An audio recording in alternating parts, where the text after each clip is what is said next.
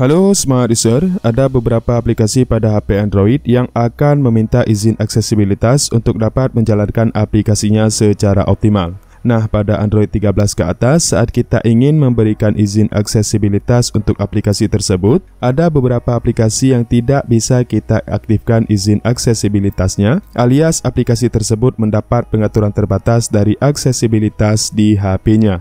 Dalam video ini, kita akan membagikan cara mengatasi pengaturan terbatas untuk perizinan aksesibilitas di HP Samsung yang menggunakan Android 13 ke atas. Nah, langsung saja kita masuk ke dalam tutorialnya. Kita buka aplikasi pengaturan, kemudian kita cari pengaturan aplikasi.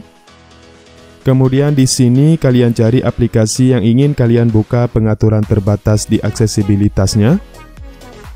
Lalu pilih aplikasinya. Kemudian kalian pilih titik tiga di kanan atas, lalu kalian izinkan pengaturan terbatas.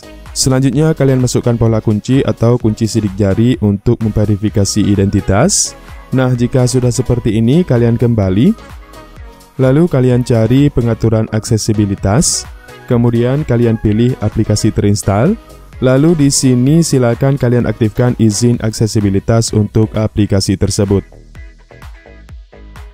Dan sekarang, kita sudah bisa menggunakan aplikasinya secara optimal tanpa terganggu dengan pengaturan terbatas dari izin aksesibilitas di HP-nya.